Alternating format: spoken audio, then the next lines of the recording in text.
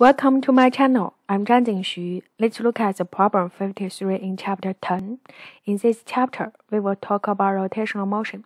This one is a rotating hammer, and when we look at it, it looks like a rotating circle, right?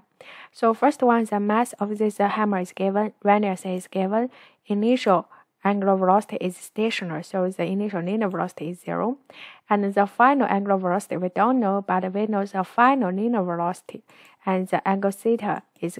So the total rotation is four revolution.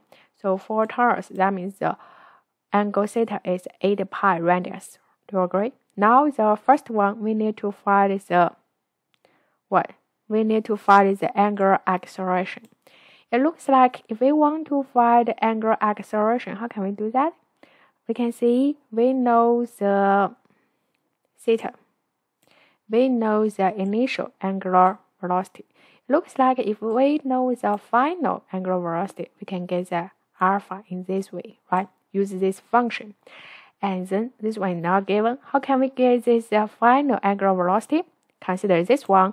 Linear velocity divided by r is the angular uh, velocity.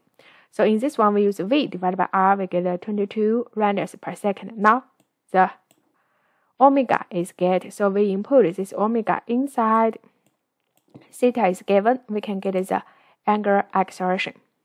The second one asks us to find the linear uh, acceleration. So linear acceleration easy because we just find the angular acceleration is 9.7 radians per second square, right? So the linear acceleration is just r times alpha. No, it is solved. The third part get the central acceleration. So central acceleration is this one acceleration radiant, right?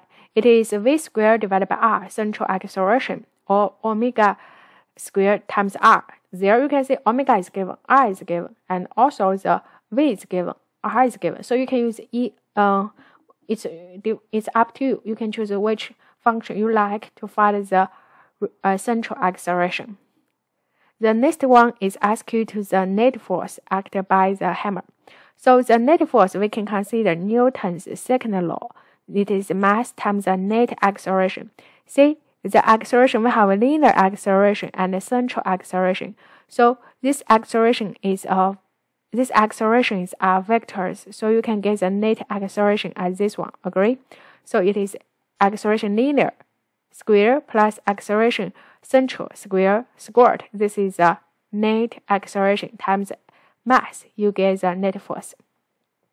The next one asks you to find the angle of these forces uh, with respect to the radius of the central circular motion. So this one you need to find this angle theta. How can you do that? You can use the arctangent theta equal to acceleration linear divided by acceleration central. Agree? Use this side divided by this side is the tangent theta, and then we input acceleration tangent and acceleration central. We get our final answer there. Thank you.